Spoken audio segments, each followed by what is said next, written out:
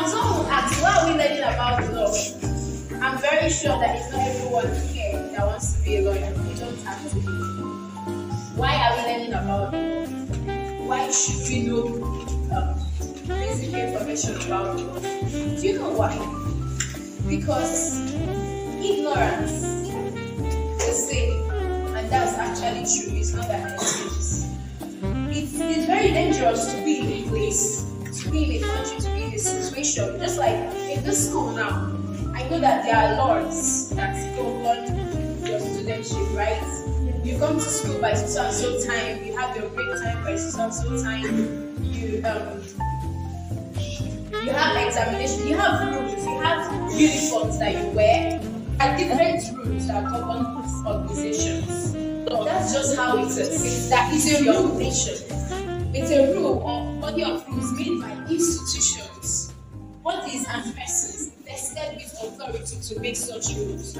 So what makes it law is that it is made by the persons or institutions or bodies that have been vested as they have the authority to make such rules. For example now, um, your your brother at home or your sister at home cannot come and then in regular school tell you what to do. You won't listen to him, right? If he comes and tells you, okay, um, you're going to be coming to school by 6 o'clock, 6 a.m., would you listen to him? Why? Exactly. He's not the person to make the rule. He has no authority to make the rule. Just that's just how laws are. Okay? So um, they are they are binding. It's binding on the members of a given state or society. And then without laws there will be anarchy. You know what anarchy means? Lawlessness. Imagine where where um, nothing regulates you. Someone can just come and take your pen because the person wants to. But now we have laws that if you if you take someone's um, um, stuff without the person's permission, you the intention to permanently Now that's a law. If not, someone can just come and take your property, take your land, take your rape you, that's you know, and nothing, and the person will go scot free. Someone can just come and people that just beat you up, and the person will go scot free. But no, we have laws that regulate this things. If not, there will be lawlessness in the society. Okay? Then it's important to have basic knowledge of the law, irrespective of whether you're a lawyer or not. Like I said, ignorance of the law is not an excuse and it will help you avoid trouble. So let's let's look at some little little facts about the law.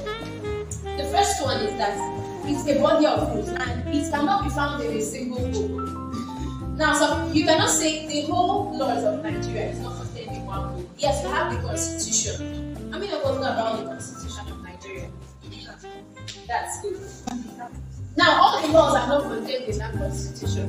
We have other different laws. We have something like criminal code, we have penal code, we have uh, laws of different. There are different books. So the point is that all the laws are not contained in one book, so that nobody can deceive you when you go outside. Everything is in one book. Okay. Then the next one is that laws are man-made. It is adopted by the society to govern itself. Therefore, we as citizens have responsibility to determine the laws that govern us. So they are man-made. The laws are made by humans in the society, just like here now in school. The laws are made by the authorities here in school. It's not spirits that make laws. Okay? Then another thing about the law is that it's limited in scope. It has a defined set of people it applies to. Like when I was driving to this place, I saw so many schools. There are so many schools around this area. Now, the laws that govern Graceland is not the one that governs. Is there is one that is very, very close to this area. Their own laws are different, their uniforms are even different. So someone cannot come, the principal of um, that one cannot come to Brightland and tell you what to do, and she or he. So laws are defined.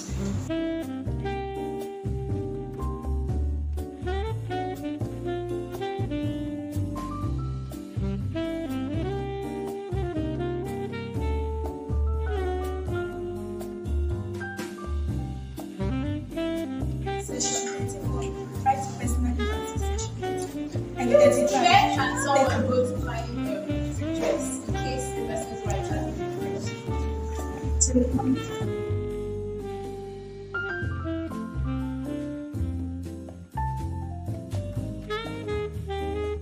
in School program at Brightland International Academy.